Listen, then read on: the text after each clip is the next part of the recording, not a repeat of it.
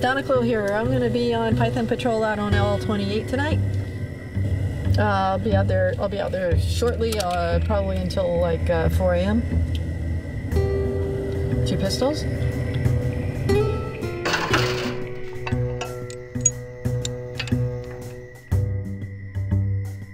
When I found out there was a program to catch pythons, uh, and they were going to be paying people, it's like, yeah, that sounds like I can do that. I've got that, that, that skill.